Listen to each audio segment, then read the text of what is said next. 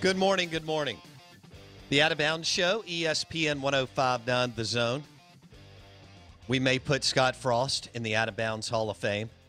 We'll see how it plays out throughout the week. Right now, he's my favorite coach in college football. But, I mean, Harbaugh stepped up yesterday. I love what he he posted. Smart and uh, had the stones to throw that out. I thought Ryan Day was good. I thought Coach Saban was too. So maybe we have a shot here. It's gonna be it's gonna come down to the players, which then filters up to the head coaches if we have some some college football. But I love some Scott Frost and uh, Harbaugh, Day, and Saban. So right now, those are my my guys that I'm riding with. It could change uh, any any hour minute to minute. Live in the Bank Plus studio, the show is presented by Blue Cross Blue Shield of Mississippi. It's good to be blue, the official healthcare provider of the Out of Bounds show. Blue Cross Blue Shield of Mississippi. We want to welcome in our friend, national college football analyst with ESPN, Tom Luginbill on the Parish Brewing Hotline. Lugs, good morning. How are you, buddy? I'm good, buddy. How are you doing? It's good to be back on with you. Well, thanks for doing this. I know you've got a, a busy morning, and uh, I appreciate you changing your schedule. This is uh, wild times, huh? I mean, we don't.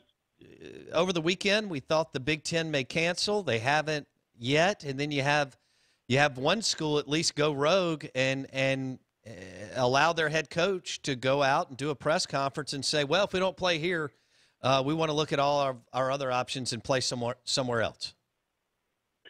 Yeah, and, and I'll tell you the shame in all of this, and this relates to the players too. And the you know the I want to play hashtag is something they could have gained players and coaches alike if you'd started this six weeks ago. Yeah. All right, and you had this push from those that are inside the building day to day.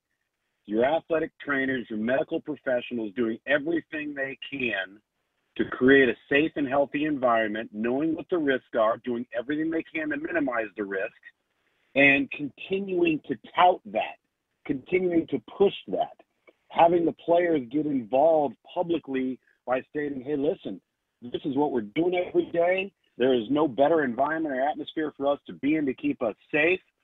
We're prepared to play. We want to play. All of these things that we've heard over the last 72 hours are fantastic. I just become concerned that it's too little too late in regards to gaining enough momentum to, you know, create the change necessary for this to happen. And I'll tell you the other thing too, Bo, that, that bothers me about all this. And, you know, it, it doesn't matter what political side of the aisle that you sit on. I do think this thing has been weaponized. I do think it has been politicized. Sure. But here's the reality of the situation. You could kick the can down two weeks. You could kick the can down the street six weeks. You could kick the can down the street eight months. Guess what's not changing? Coronavirus. It's not going away. It's going to be here. It is part of our society, just like all the various other strains of coronavirus that we've seen in the past. So it doesn't matter if they have a vaccine. A vaccine doesn't automatically change this. Uh, we have a flu vaccine. People still get the flu, and you know what? People still die from the flu, unfortunately. So the reality is that we're going to have to make some societal changes. We acknowledge that and realize it. Has everybody bought into that to the level that they probably should? No. But it doesn't change the fact that if you want to sit here and talk about, well, if we start the season in October or we start the season in January, everything's going to be different. No, it's not. The only thing that makes it different is our day to day conduct and the preparations that we make, not just athletically or in terms of the sports, but in our society to minimize the risk. Because that's all we're doing here, Bo. Right. We're trying to minimize risk. And we know what the risks are. So what are you willing to risk to move forward?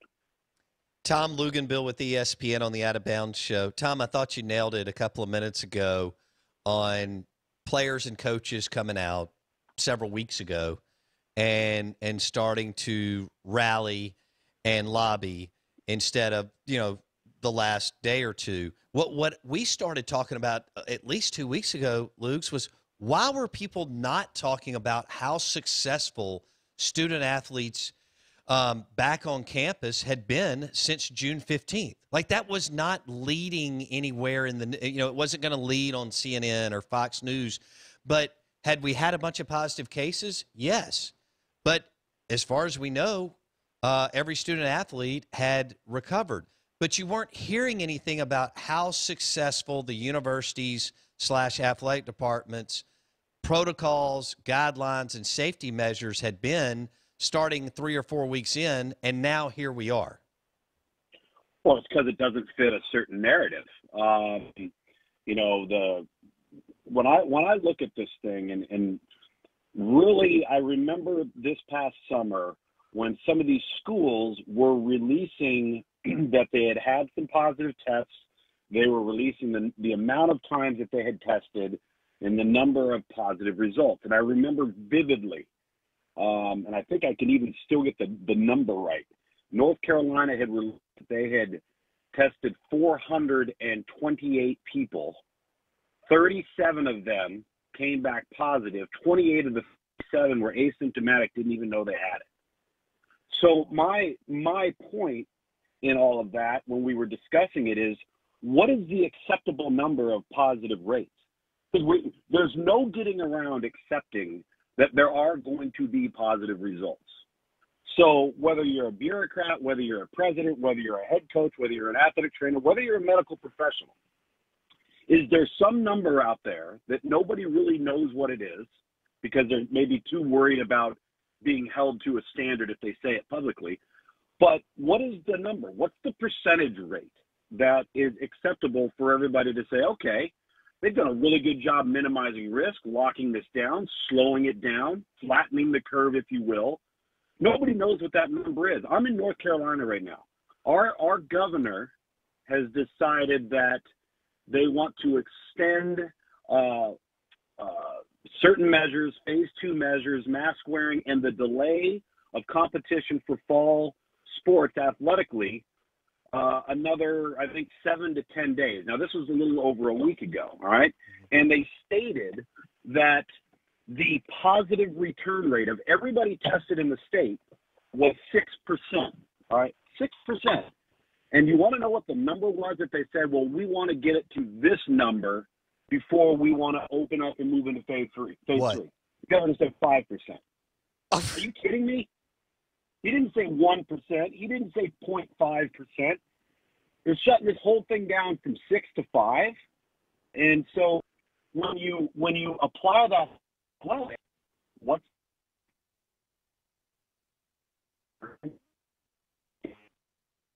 for so many because of the precautions and all the different rules that have been set in place and the standards that have been set in place to protect these student athletes I don't know what more you can ask anybody to do. I just don't. I don't know what that is. Well, all right. You were we're visiting with Tom Luginbill on the Out of Bounds show, ESPN 105.9 The Zone. Uh, Lugs, you were a a student athlete um, at both the junior college and Power Five G five levels. So you know, I, I think this is where you were going, maybe via Twitter or something. But Saban hit on this yesterday you believe without a shadow of doubt that that athletes are much more safer on campus than at home, right? Well, I do. I certainly believe that, and that's also going to what uh, lead into what I think Greg Sankey, the commissioner of the SEC, is doing with the steps that he is taking. Is the bubble, if you will, and there's no such thing as a 100% protective bubble, but the measures that put forth the ability to, to keep the kids all in the same dorm, the ability to keep the kids in the building, to obviously disinfect, do all the things, the mask wearing, everything that's part of that. You know, I don't understand what other safe environment you could put them in. But here's what is going to happen. And this is where I think the SEC is being smart in slow playing this. They're anticipating that when normal student athletes or student, the normal students and the rest of that population come back to school that you know what? There might be a spike. There there might be an uptick in some positive cases. So by extending out the start i think what is it september 26th yes. They're figuring that you have that group come back to campus. And again this isn't an exact science. They're projecting here and they're based on their medical professionals.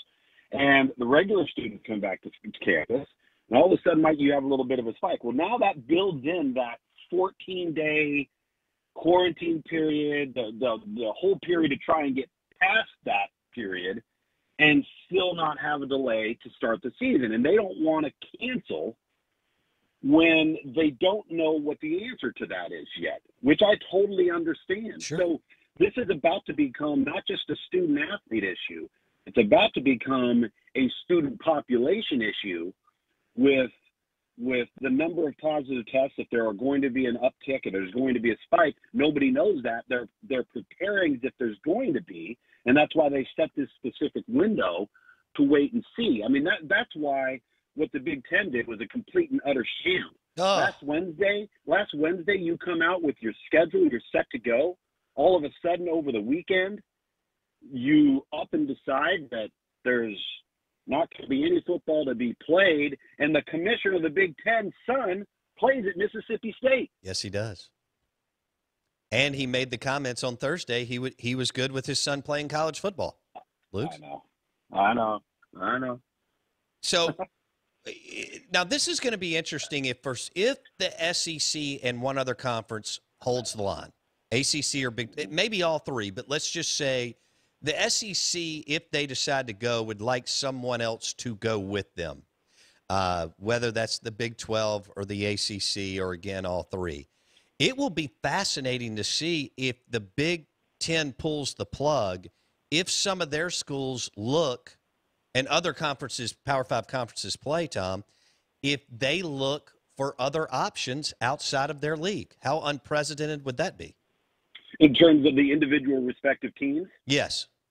oh, absolutely, absolutely. You're, this is going to create utter chaos, and not just short term. It could create it long term. And I'll tell you the other issue that we've got to acknowledge here. This is this is the most devastating issue, in my opinion.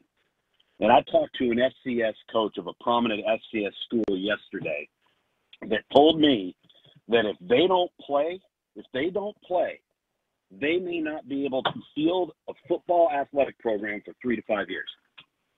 That's how devastating the economic impact of all this is. Now, that's not just at the FCS level. That's certainly going to also have an impact at the Mid American Conference level, which has already called their football season, the Group 5 level, Mountain West just called theirs.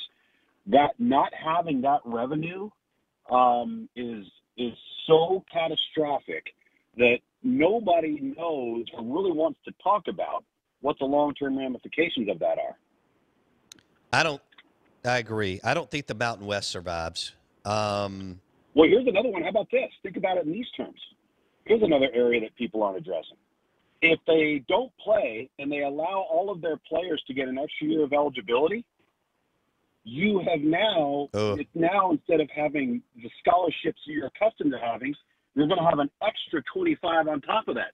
Some schools can't pay for that. no. We're trying to figure out if Southern Miss could make it. Um, Mississippi State and Ole Miss will be able to make it because of their affiliation with the SEC. Well, of course. But uh, Mountain West, even Boise State, who is kind of a darling in the G5 deal. Um, and then we start to look at Troy, Southern Miss, La Lafayette, La Monroe, La Tech. I, I don't know how that looks. And, and, and also, Tom, I'm not buying that they're, they'll be able to play in the spring. I, I, I don't think, as you started, uh, I think you started our conversation with, hey, Bo, you know, the coronavirus is something that we're all going to have to live with forever and Yeah. ever and deal with and manage. And as you said, uh, uh, manage risks. I don't know how we're going to come out of the two coldest months of the country in January and February and think that it's all going to be okay and they can just fire, they can basically start practice mid January, which is cold, practice Yeah. for four to five weeks, and then boot this thing up March 1. Lugs? Well, the biggest problem in all of that isn't really weather. I think you know if you're if you use the month of January as training camp, everybody's got an indoor facility. They can manage that. You might have some cold games to start the season. All right, so what? We have a bunch of cold games to end every season. The bigger issue in all of that is you're going to have every single senior or underclassman opt out that thinks they're a draft eligible player, even if they're not. We've talked about this before. You have an awful lot of players that have an overinflated opinion of what their actual ability level is. So if they even think that they have a free agent grade from the NFL. You think they're going to play college football in the spring and miss out on the NFL draft? No. They're not going to do it. And here's the other issue is what is the NFL going to do, all right, if you have players, let's take Trevor Lawrence, for example. Under the current rule, you have to have played at least three seasons of college football. All right? Well, what if you have a Trevor Lawrence that's played two? Is the NFL going to change that rule? Yes. Or are they going to make him go back? I think they'll change it, but I think where you're going also is will the NFL change their schedule in the spring because of college football? And I don't think that they will because the NFL is staying on schedule right now. Yeah, I mean, I think, you know, if you had a change, could you push the NFL draft back a month? Yeah, you probably could. Wouldn't affect mini camp and it wouldn't affect your your training camp start time. I think you could probably do that. Um, but again, it goes back to what I think is the core of the situation, and you referenced what I said when we first came on air. It, it, it doesn't. We're not. Everybody's under this assumption that if we move it back, you don't deal with the virus anymore. That's that's a complete falsehood. That's a myth, and and it and so what we've got to acknowledge is no matter when we decide to play, the risk is there. You do everything you can to combat the risk. All right. You acknowledge that there are going to be positive results, and you're going to have to deal with that. Um, because if we never get to that point, then how do we even function in society as a whole? Period. Right. Forget athletics. I mean, this is this is something that is very that is obviously is, is far reaching. Uh, Tom Luginbill, ESPN on the Out of Bounds show. Uh, Tom, how disappointed are your colleagues that you talk to, uh, former players, people in broadcasting, coaches, and others in the Big Ten's leadership or lack thereof? Um, I think we're all frustrated because we feel like when something like that happens, it lights a fuse, it becomes political. Nobody wants to be the last one to say, no, we're, you know, we're digging our heels in. So now, you know, there's a tendency to cower to pressure. Um, you know, all of those things stem from one power conference making a decision. And I think the frustration and what we talked about is the mixed messaging how do you go from setting your schedule, being ready to roll?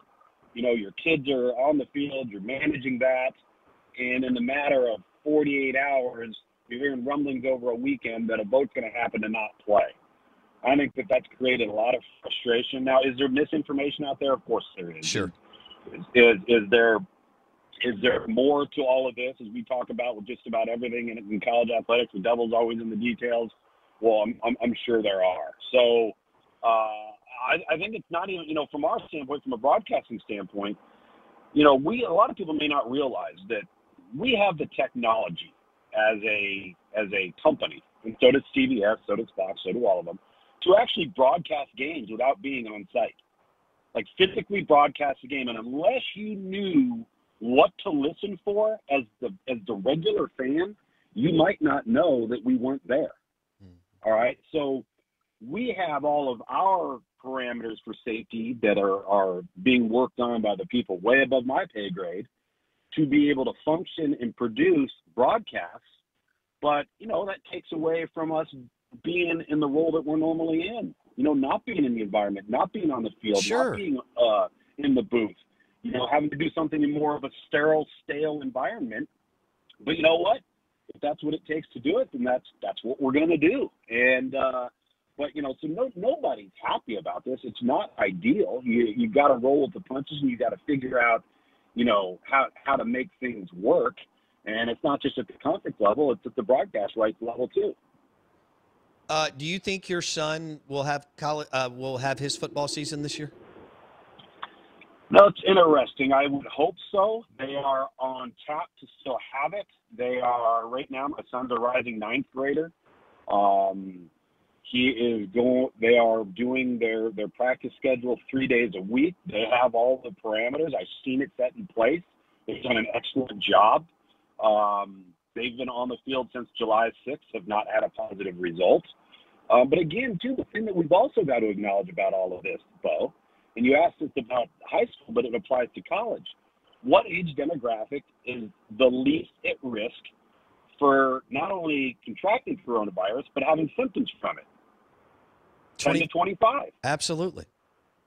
Okay, so that that should be a positive. That should play into the favor of trying to continue to manage and and and, and, and get on the field. And and I would have listen.